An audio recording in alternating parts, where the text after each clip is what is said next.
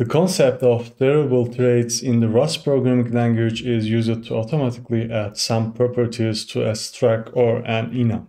Thus, some common operations or behaviors of a particular struct or enum automatically become applicable. Moreover, it makes it easier and faster to write code. Let's create a struct and show it with an example.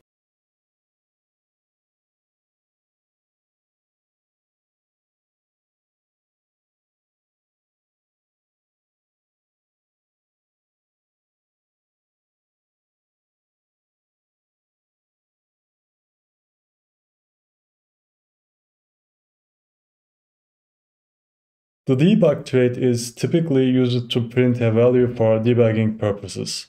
This trait, when used in macro calls such as println or debug, serves to display the value in a readable format in the debug output.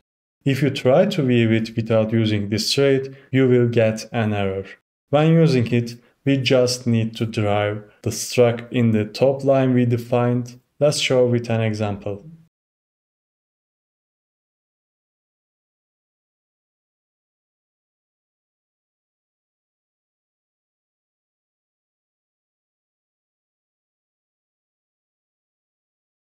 Do not forget to use colons and question marks in the println macro. This means debug printing. Another example is the clone trait. The clone trait defines a method called clone. This method creates a clone of a value and stores the original value in a new memory area without changing it. You cannot use the clone method without using this trait. If you want, let's explain with an example.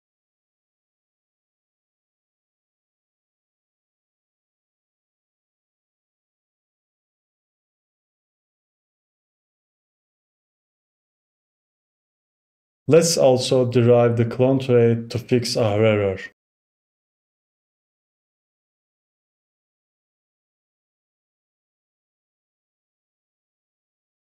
As you can see, we produced a clone with exactly the same values. Apart from this, there are many derivable traits such as default, hash, partial EQ. Moreover, there are also traits that cannot be derived, such as display, but which are quite useful.